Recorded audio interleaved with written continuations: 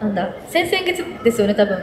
あの歌舞伎町の下で。あの時に蝶々結びとあの366日どっちがいいっててあの多数決した時にもっちゃんさんが366日の時手挙げてたらしいんですよ。それをそう母が見てて私の母が。そう。この曲は絶対ね私今日歌おうと思って今日来ました。聴いてください。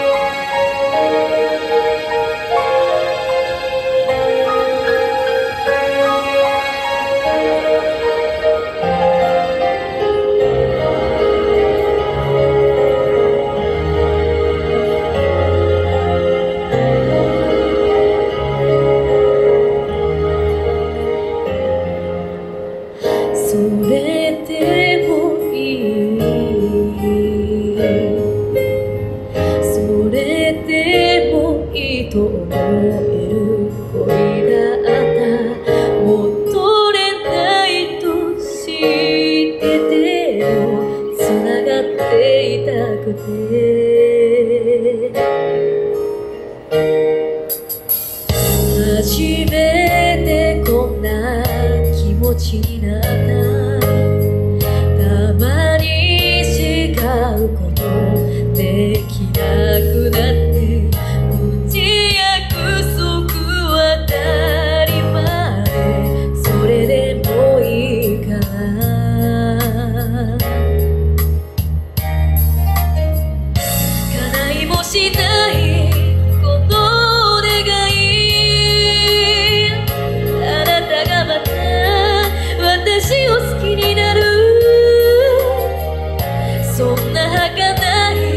い私の